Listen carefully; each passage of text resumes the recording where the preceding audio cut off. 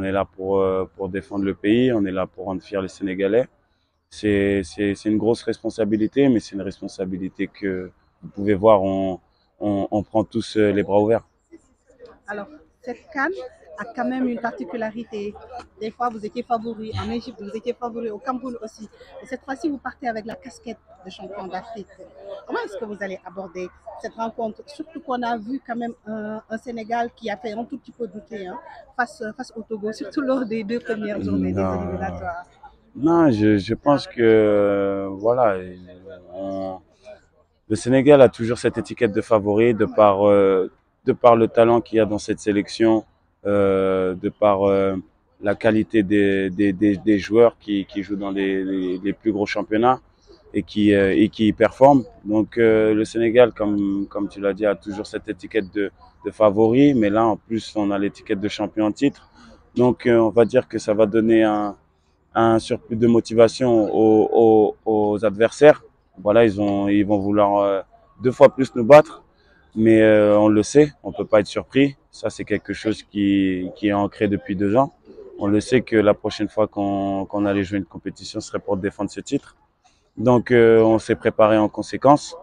Et euh, je pense aussi que voilà, sur sur les derniers matchs, euh, oui, le, Togo, c'était c'était un match très difficile, mais mais c'est toujours difficile d'aller au Togo.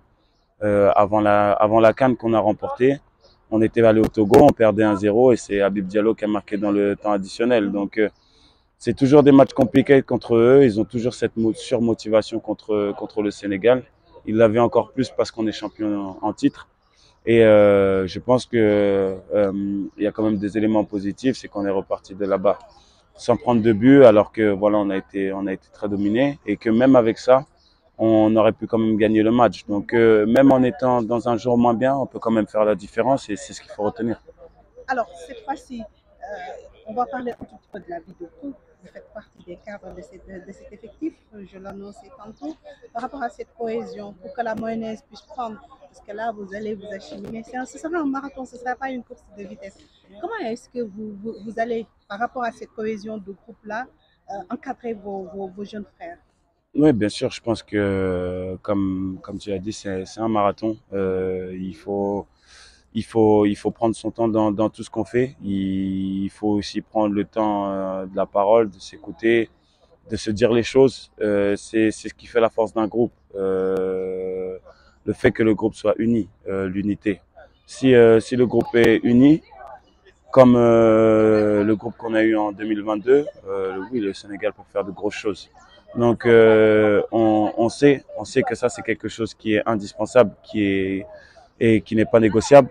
Euh, la vie de groupe est ce qui doit primer sur euh, tout le reste, sur les égaux, sur les personnes.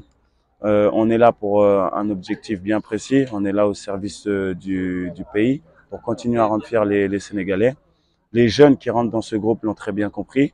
On est là aussi pour leur rappeler que voilà, s'ils sont là c'est pas euh, un cadeau. Le coach n'est pas là pour faire des cadeaux et je pense que tout le monde connaît le coach. Il ne fait pas de cadeaux. Si euh, vous êtes là, c'est que vous êtes un titulaire potentiel et qu'il faut se préparer en tant que tel. Donc, euh, je pense que tout le monde est prévenu. Ces dix jours qui arrivent vont nous vont continuer à nous servir, à, à, nous préparer, à ancrer encore plus ça dans le groupe.